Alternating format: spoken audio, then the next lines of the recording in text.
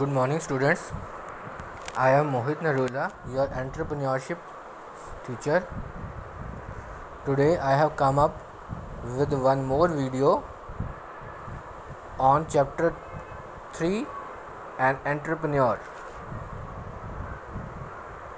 The content matter which we are going to discuss in this video is about types of entrepreneurs competencies of an entrepreneur, essential attitudes of an entrepreneur, differentiation between an entrepreneur and an employee, what is intrapreneurship, and something about entrepreneurial motivation. So, I have just I have just prepared a mind map to make you aware about what are the various types of an entrepreneur. So, in the picture, I have shown you four types of an entrepreneur. These are innovative entrepreneur, imitative entrepreneur, Fabian entrepreneur, and drone entrepreneur. Now let's begin with who is an entrepreneur. This we have this concept we have already discussed in our first chapter entrepreneurship concept and its functions also but to give you again a brief synopsis of this so an entrepreneur is the one who takes an initiative who takes a first first step to start a business. He is the one who conceives an idea of starting a business. An entrepreneur gives lot of employment opportunities and plays a crucial role in the development of in the growth of various sectors now next is types of an entrepreneur. The very first one is innovative entrepreneurs. Innovative means who are creative who are always in the pursuit of doing new things who have who, who generally thinks out of the box. So same way here also an innovative entrepreneur is the one who is in search of introducing new products, new methods of techniques of production. They are generally aggressive in nature, which gives practical shape to their ideas. Second one is imitative entrepreneur. Imitative means who takes help of others. Imitation, copying from others. So these are the entrepreneurs who are less creative as compared to innovative entrepreneurs. They generally adopt those innovations which are already made by innovative entrepreneurs.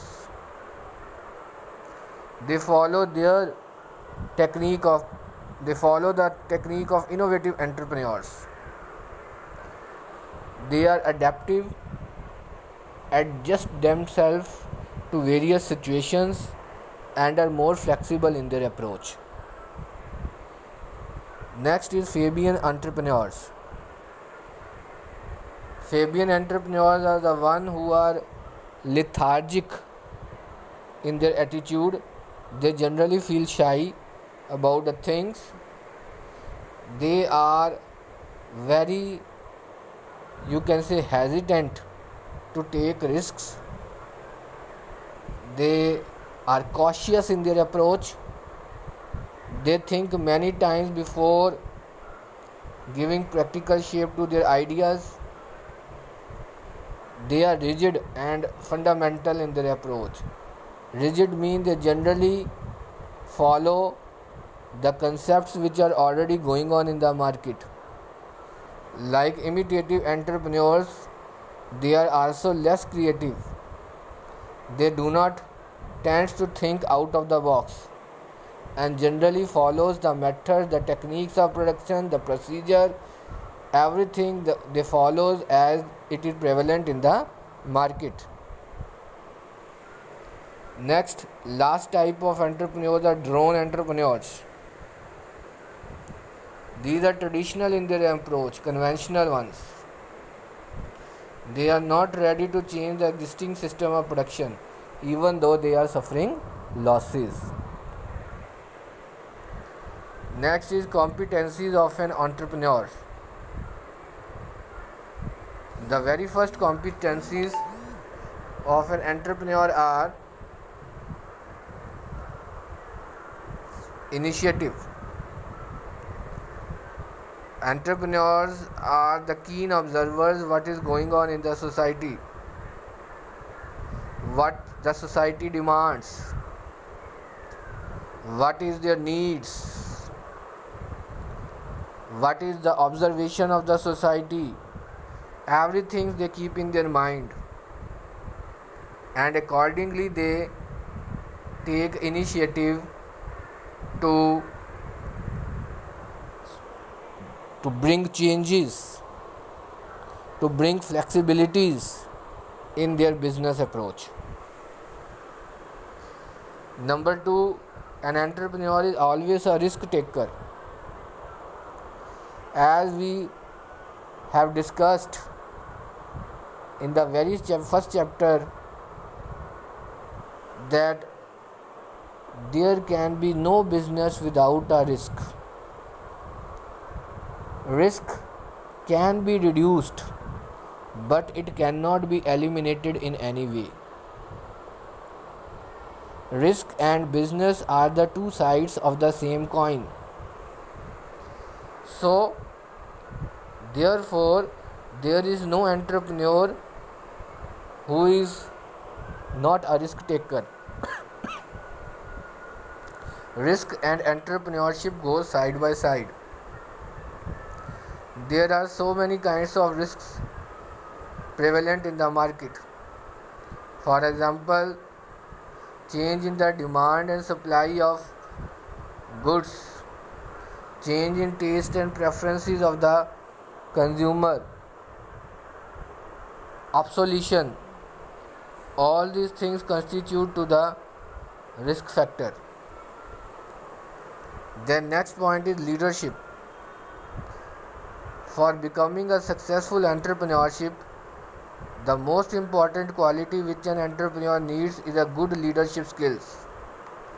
An entrepreneur should be one who can guide who can motivate his subordinates at the time of adversity who can set his own example to them who can never let his subordinates to off the guard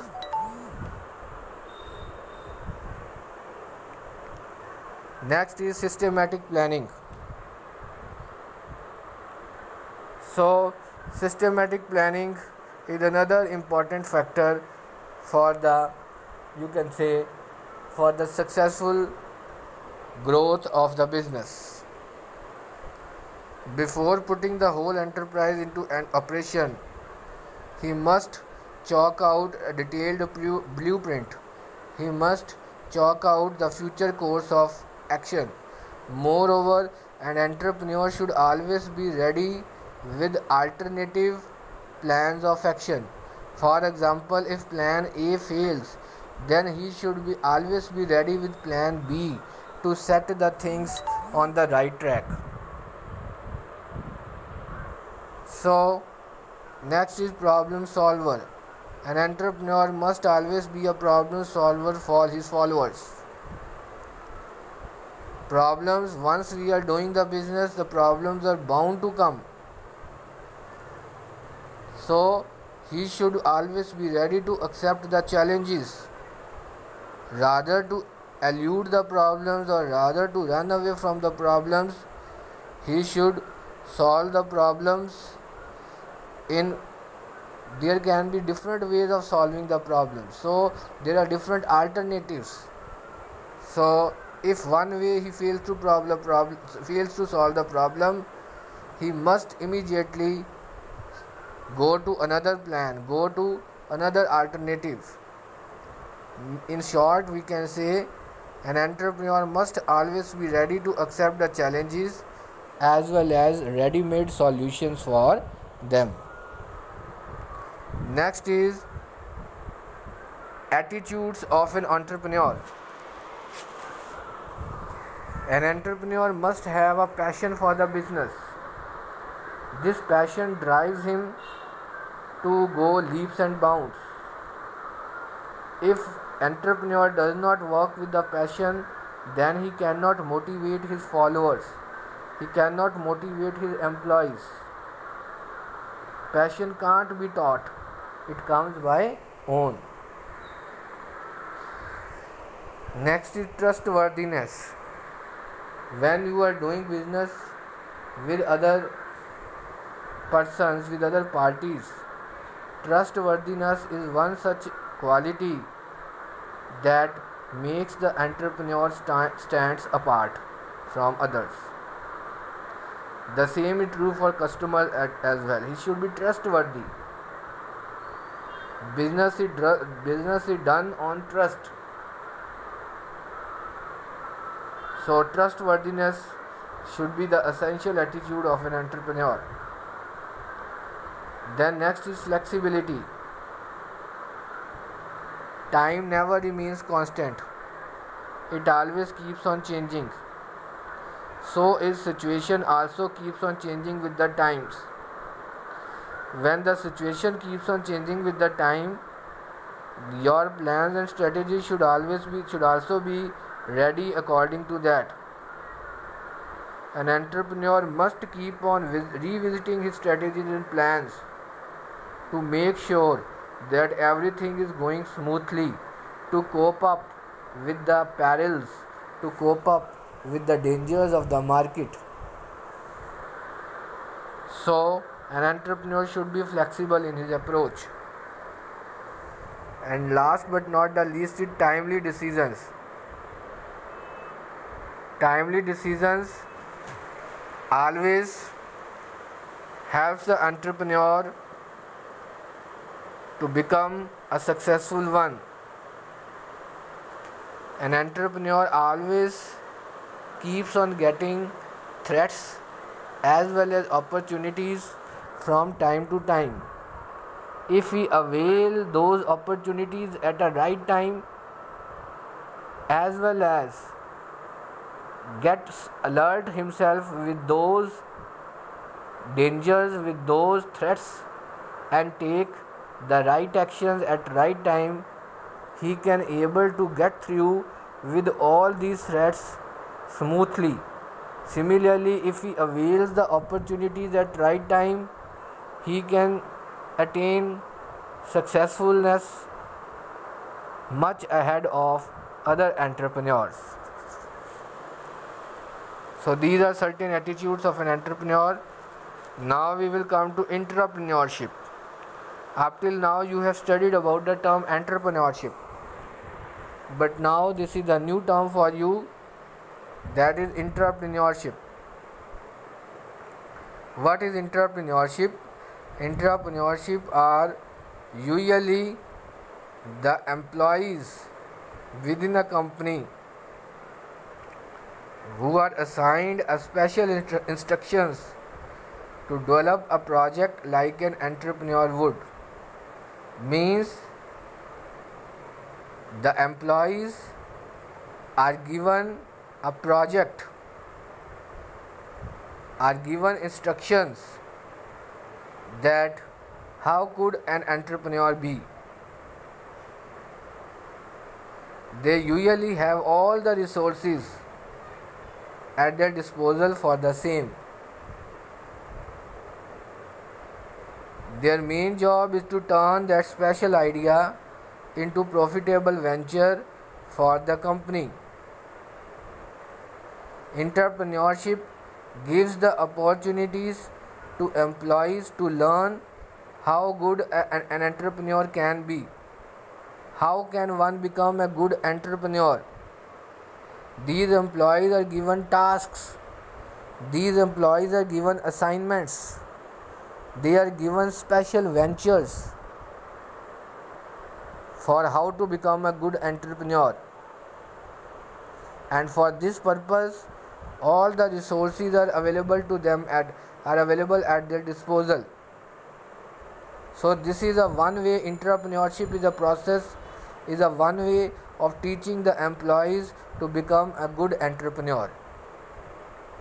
In short we can say these are the instructions. These this is the process of becoming a good entrepreneur. Next is differentiation between employees and entrepreneur. Now when we talk about an entrepreneur a good entrepreneur is one who always in pursuit of improving their skills.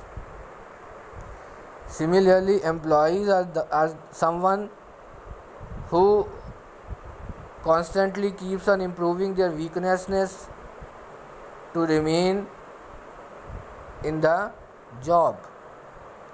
The better they will improve their weaknesses the better employees they can be. Secondly entrepreneurs can say no to opportunities. Sometimes they have so much projects at their disposal that they may say no to these opportunities. Or sometimes they may not be familiar. They may not be that much alert to grab those opportunities. But employees are always there to embrace the opportunities entrepreneurs thrive on risk. The larger the risk an entrepreneur will take, the more the profits he is going to earn. So, the survival of the entrepreneur depends on the amount of risk they have taken. On the other hand, employees try to avoid risk as far as possible. Next is entrepreneurs crave for, they desire for, they are always looking for talented and multitask people. They are readily available to hire such workers, to hire such employees. On the other hand, employees are always threatened by them. Once an employee finds that another employee is much more suitable, much more talented than him, he always has a tendency to be apprehensive about him as he generally have the fear of losing of eh, generally have the might have the fear of losing his job through his hands entrepreneur believes in monotasking single work. Employees are trained in such a way that, they can become multitaskers. They are providing they are provide specifically training for this purpose to make them multitaskers. The more the employee is a multitasker the more the competitive the more the talented employee he becomes. There are more chances for such employees to secure their jobs rather than the one who is just a monotasking or who can just do one work at a capable of doing only one or two work at a time. So these are the certain differences between employees and entrepreneur and these are the topics which we have uh, discussed in this chapter the types of entrepreneurs who an entrepreneur is their competencies and attitudes intrapreneurship and entrepreneurial differentiation with an employee. I hope all the points are clear to you, all the topics which we have discussed must be un- understood to you. If at all you have any kind of a problem, you please first just look at this video and try to understand. And then if at all you have any queries you can contact me and can solve your problems. But you must go through this video first of all before asking your queries. That's all from my side thank you